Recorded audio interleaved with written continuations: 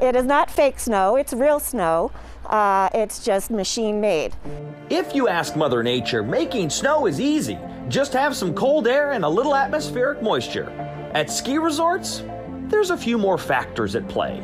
We also have little calculators for um, converting from uh, ambient temperature and humidity, what the approximate wet bulb is. Resorts all over the country use what they call snow guns to make their own snow, since relying on the real stuff can leave you waiting.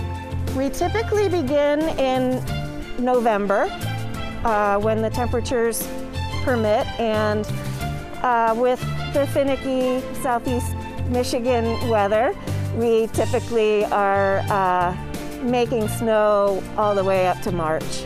Underneath the mountain are miles of water pipelines leading to 54 snowmaking guns. The water comes into the fan gun with uh, mixes with the air in the nucleator and that creates little particles. These little particles are the teeny tiny start of a snowflake and the spraying water mist freezes to them, making them bigger and bigger.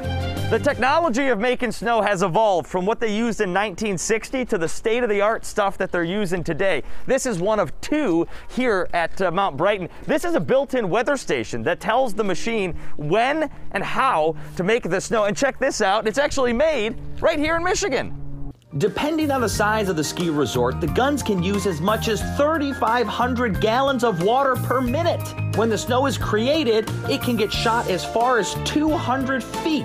How long would it take for you to have enough snow to cover the whole mountain? So it would take us about 72 hours of consecutive snowmaking to get the whole mountain open with a depth of about two feet.